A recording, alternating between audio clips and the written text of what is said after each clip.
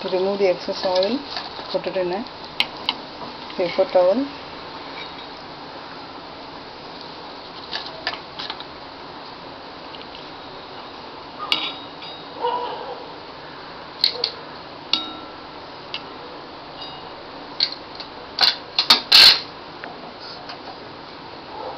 That is Arbi vada, that is Palakesa vada.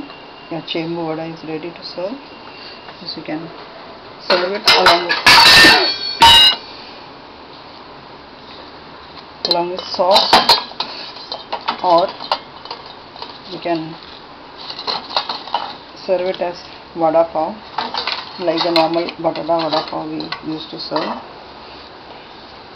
Thank you so much for watching the video. For the recipe log on to rasavinsuvai.blogspot.in have a nice day